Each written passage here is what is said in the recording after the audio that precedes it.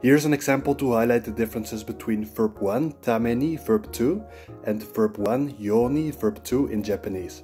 Katsu tameni gambaru, which means I will do my best in order to win, and kateru yoni gambaru, which means I will do my best in order to be able to win. The first difference is that with tameni, verb 1 must be in the positive present tense dictionary form and must express the speaker's will, which is why katsu is used, which means will win.